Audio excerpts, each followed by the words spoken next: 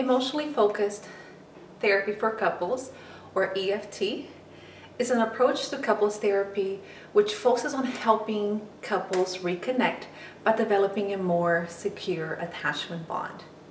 EFT was developed by Dr. Sue Johnson and Dr. Les Greenberg in the 1980s. It, is an approach that is based on John Bowlby's attachment theory.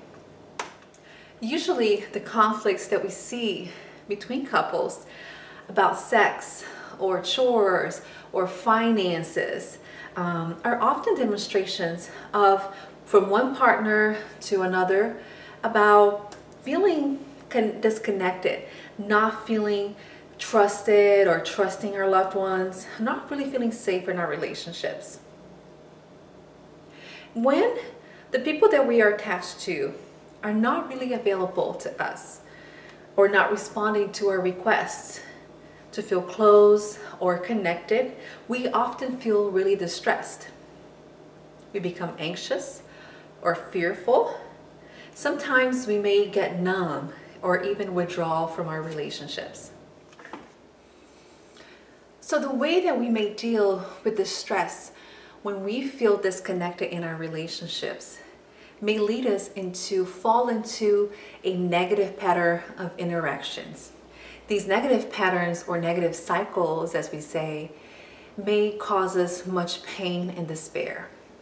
In EFT, what we do is we help each couple be able to change these negative cycles that lead them feeling disconnected, alone, and in much despair.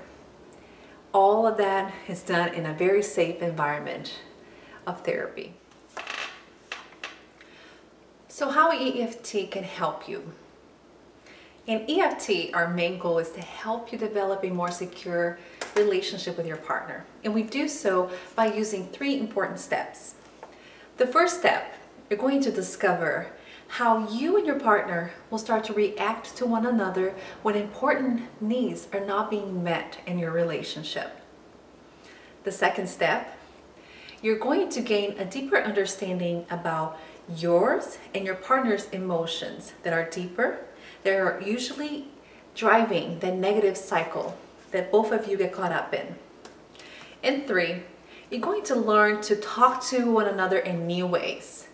You're going to talk about your emotions, your longings, your hopes and dreams to one another in ways that will strengthen your relationship.